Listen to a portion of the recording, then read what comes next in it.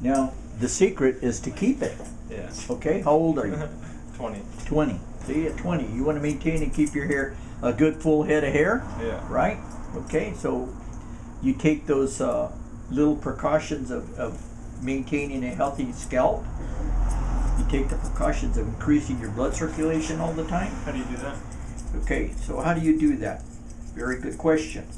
You have you have some arteries that run through here. You have two guys that run through here, and you have a couple that run up here, right? Mhm. Okay, so what you're going to do when you're not sitting around, you're just doing this. Feel the difference already? Yep. Huh? Awesome. Huh? Did that feel good? Yeah. Okay, what am I doing? Hardest thing for the blood to do is go from this point to up here. Very hard for the blood to pump up, right? Yeah. Okay, so when you're doing this this manipulation of drawing the blood up, okay? So what are you doing? You're bringing the blood up to the top, all right? And if you start moving the hands down, what are you doing? You're drawing the blood down. No, you don't want to do that. Why? Because the blood comes up and flows back down in Right. this manner, right? Okay, so you're drawing the blood up, and then once you get the blood up, everything is to the back. Not, not this way because now you're drawing the blood down. So now we're creating, getting the blood up there, okay? Drawing the blood up, and now what are we doing? We're stimulating and getting the blood Right. circulating, okay? And that's the key to keeping your hair healthy. Because what is what is what is the, the food for, for the growth of hair? Is blood. Yeah. Each one of these hair follicles, all right, each one of these little hair follicles have a, a blood vessel attached to it. Mhm. Okay, as the older you get, like my age, well, your your your blood vessels start to shrink, right?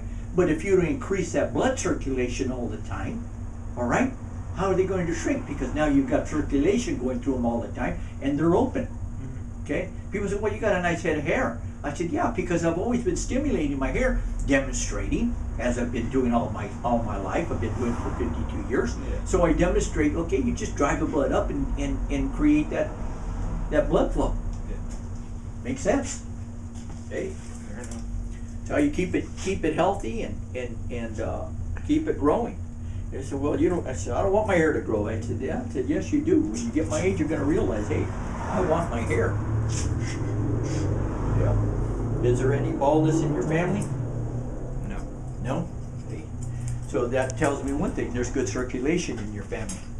When you start seeing that, you know, guys your age, you start you get a little bit thin right in through here, or maybe you could see the pattern. You can see that little pattern in through here, and then if you ask, well, you know, who's is there any uh, uh, baldness in your family? So, oh yeah, my grandfather was bald, blah blah blah. Well, then it goes down to hereditary because then you can see that there's a pattern of baldness that's in the family itself. Right. itself. But how do you prevent that? Okay, instead of being going bald at 30, maybe you'll go bald at 50 or 60.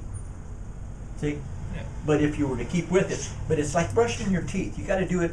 You got to do it all the time. You know, guy says, "What?" I said, "No, you got to do it all the time. You just can't do it, and you can't just do it for you know three or four minutes. You got to do it for, for about five minutes, and that if you stimulate it now and then, it really helps. You know." That makes sense. So well, I can do it for about three minutes. Can I stand on my head? No, you can't stand on your head. That's not circulating. All you're doing is putting a bunch of blood up through your head, right? So you have to stimulate it and, and get it circulating. Yeah. Huh? things you don't think of. No, no. You, you know, you, you don't think about those things because it's not. It's really okay. If I'm not here to tell you about it, you're not going to think about it. No. you know.